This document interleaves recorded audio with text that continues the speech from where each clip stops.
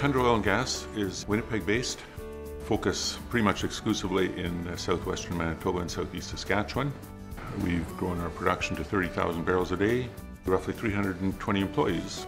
Manitoba Hydro and Tundra Oil and Gas are working together to reduce greenhouse gas emissions. The environmental footprint component is something that we always uh, keep in front of us.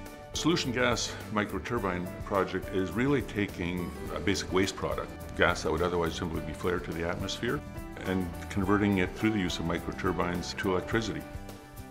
Manitoba Hydro's role was clearly critical. Uh, I think they came to us with the idea initially, uh, and the fact that they had expertise in working with microturbines and converting gas to electricity. Management was in favor of, of going ahead with it, and our board and shareholders are also very supportive of it. You know, we look at things from an environmental perspective.